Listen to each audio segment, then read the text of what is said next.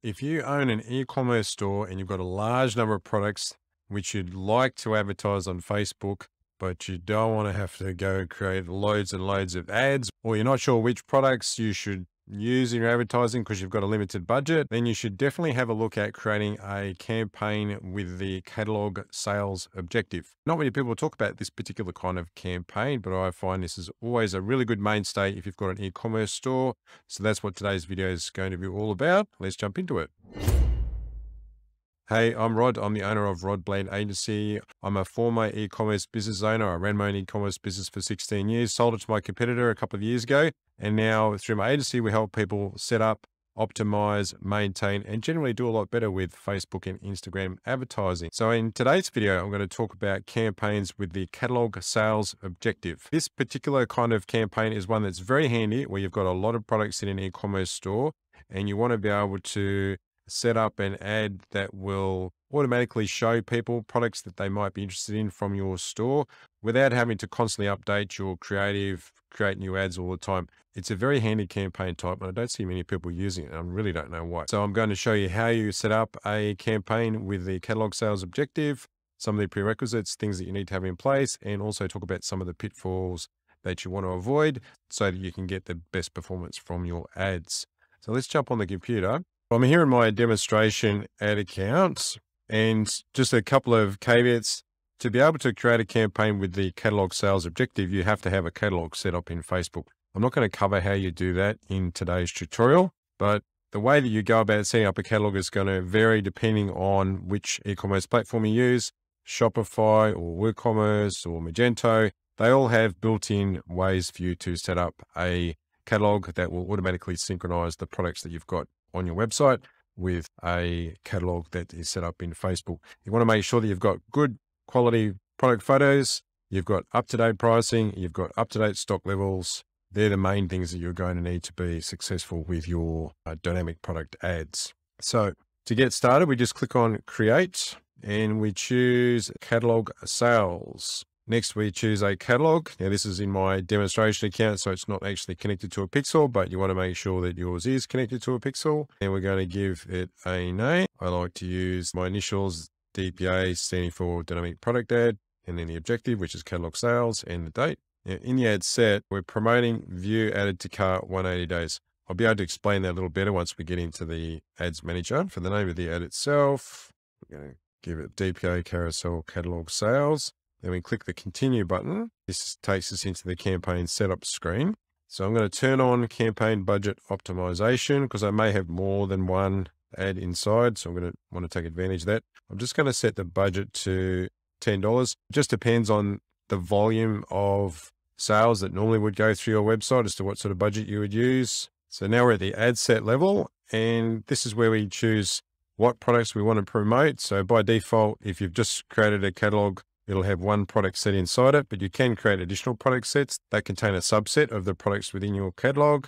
The budget and schedule, we're going to leave that as is. In the audience section, this is where we want to decide who we want to show our ads to. Now, by default, this is always set to find prospective customers, even if they haven't interacted with your business. What I find is really useful is to retarget ads to people who interacted with your products on and off Facebook. And here the default option is to promote products from the all products product set, which is selected up here, to people who have viewed or added those products to cart in the last 14 days. It also includes people who haven't purchased. So it's a very specific retargeting type of setup.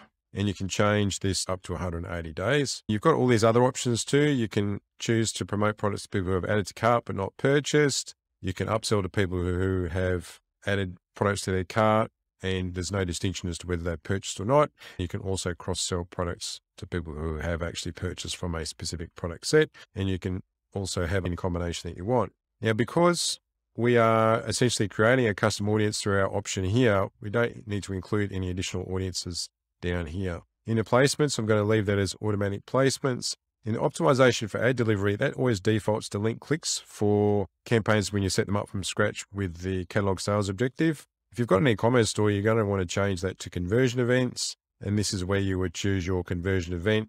Mine isn't connected, but you would typically have purchase as the event type that you want to optimize for. And down here, the attribution setting defaults to seven days after click and you get charged by the impression. And we click on next. And this is where we create our ad. So if you've got an Instagram account, you want to connect that to. Now by default, the ad setup is dynamic formats creative, and it's entirely up to you as to whether that's something that you use. I would experiment with this feature on and off, but I'm just going to leave this on for the moment. You may find that initially, if you've just created a catalog, that it doesn't feed into the ad. I'd find if you just turn off the dynamic formats in creative and then turn it back on again, then you'll get some of your products showing up. Now in the ad preview, by default, it will contain the first product in your catalog, but will show products that people have looked at or that it thinks that they might want to know based on, on their behavior. So no one person is going to see the same product every time. So let's go down to our primary text. So there's a little fish emoji, everything a fish keeping hobbyist needs for their aquarium all in one place. In the headline, this is where we can include data from your catalog feed. So by default, that will contain the product name. In the description, that's by default empty, but you might want to put in the price if your price data is up to date. The website URL obviously points to your URL. If you leave all these as the default, each of the cards in the carousel will have a link that links directly to that product page on your website, which is very handy. And the tracking, you want to make sure that you've got website events turned on and you've got your pixel chosen. Mine is showing up with an error here because it's not connected, but yours won't be. Let's see how it would look on the different placements. So that's how it looks in the mobile news feed. Let's have a look at your Instagram stories. So that's how it looks on Instagram stories. Once you're all ready to go, you can then click on publish. So that's how easy it is to create a campaign with the catalog sales objective. Now, some of the pitfalls with this that you want to watch out for, I've got some notes here. One is ad fatigue. If you don't generate very many sales from your website and you're using that option that I showed you, which is people who have viewed or added to cart but not purchased over the last 14 days, well, there's probably not going to be very many people in that audience. So you might want to make that period of time larger or just have a very low budget and keep an eye on the frequency of your ads to make sure that ad fatigue isn't sitting in. People aren't seeing the ads too often, especially with a warm audience. I find anywhere around 10 to 20 frequency is fine. And they might be people who have added something to the cart and they've just forgotten about it and they won't mind getting a reminder a few times during the day before they complete their purchase. And just to reiterate, it's really important that you have good product images and good product data. So good product names and pricing as well. If you want to be able to use that data within your ads, like I showed in this example. And that's all for today's video. If you found this content useful, please go ahead, click the like button, click subscribe. I really appreciate that. And I'll see you in the next video.